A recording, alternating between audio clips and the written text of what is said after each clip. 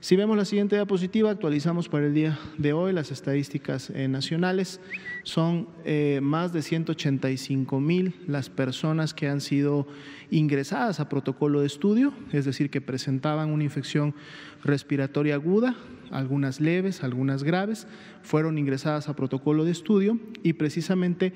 de este grupo de personas en las cuales se obtuvo una una muestra, un hisopo faringio, un hisopo nasofaringio para realizar la prueba de reacción en cadena de la polimerasa, que es la prueba confirmatoria para SARS-CoV-2 y con la cual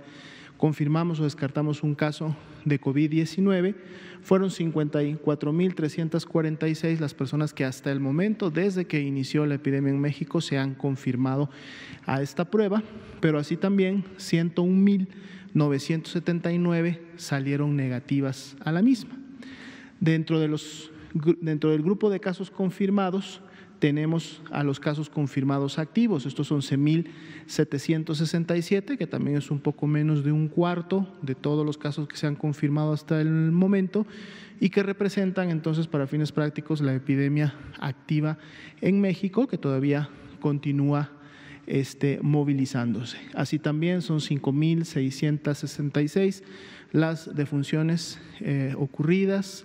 y que han sido confirmadas también por laboratorio a través de un resultado positivo a SARS-CoV-2.